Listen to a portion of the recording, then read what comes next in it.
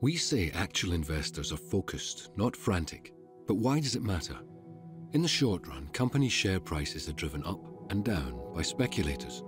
But in the long run, share prices are driven by how well companies execute the opportunities they have. If they can build successfully, so can their value.